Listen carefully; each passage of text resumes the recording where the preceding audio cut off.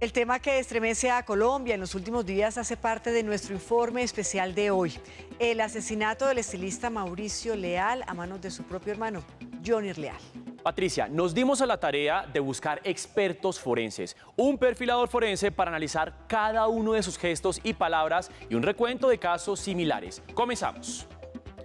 El caso Leal ha conmocionado a distintos sectores de la sociedad, inclusive la jueza que oficializó la presentación de Jonier ante la justicia se declaró conmovida. Un psicólogo forense analizó el lenguaje y los gestos de Jonier antes de confesar el doble homicidio. Esto encontró. Con casi 30 años dedicados a hacer perfilamientos criminales, el psicólogo forense Belisario Balbuena examinó minuciosamente el primer testimonio entregado por Joyner Leal a los medios de comunicación. Bueno, es muy difícil para mí todo lo que pasó ese día, pero yo estoy esperando que la Fiscalía nos dé un informe bien detallado.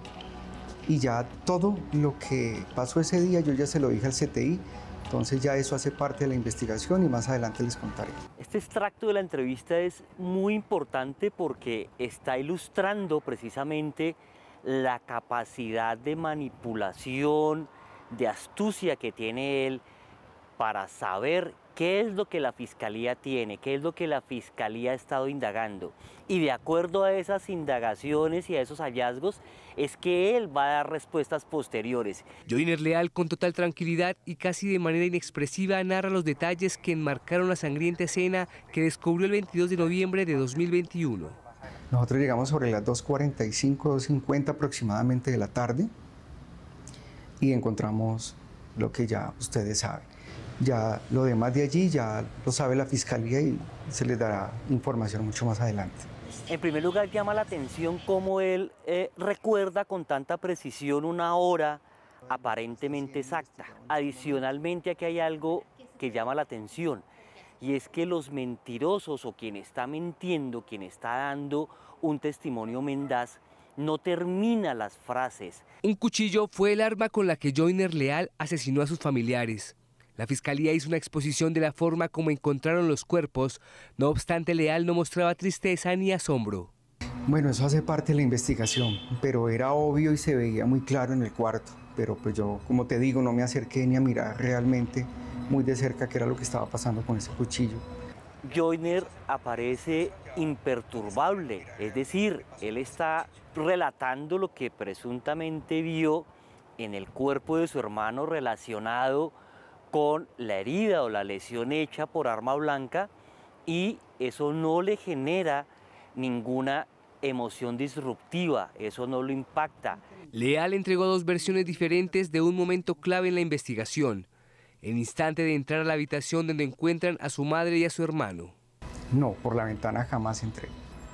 ¿El conductor sí entró por la ventana y abrió la puerta? No, abrimos la puerta normalmente porque yo tengo llaves de la casa entramos por la parte de atrás que hay una ventana corrediza, entra primero Jair, que es el conductor de mi hermano, y sale espantado, sale acongojado, sale en shock, diciendo lo que estaba pasando.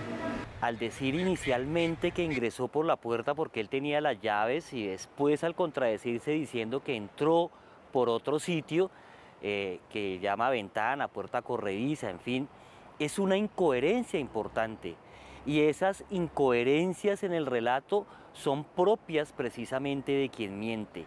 Para el reconocido investigador, Leal en su lenguaje corporal simplemente no comunicaba ninguna sensación de dolor. A mí me duele como a todos los colombianos y vuelvo y te digo, yo y toda mi familia somos los primeros interesados en que todo esto se esclarezca y me está doliendo muchísimo. La manera como él coloca su mano sobre el pecho, queriendo de alguna manera dar un mensaje manipulativo de credibilidad, pero en realidad lo que está significando es que es una forma de liberar la tensión que está sintiendo en ese momento. Y fíjense además que su respuesta no es conclusiva. La información que están dando nos duele mucho. Nos duele mucho porque aquí ya te estoy corroborando bastantes puntos que la gente se va a poder dar cuenta qué fue y qué no fue. Ya el resto de información ya hace parte de la investigación.